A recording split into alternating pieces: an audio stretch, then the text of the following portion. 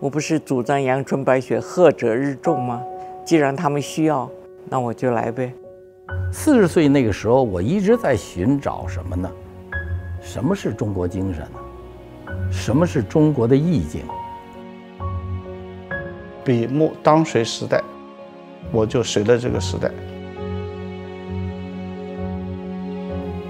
有意无意，你在画画的过程也是自我修炼的过程。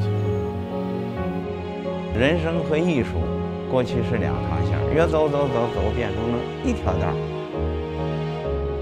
这里要有古人的精华，要体现今人的神采和文化。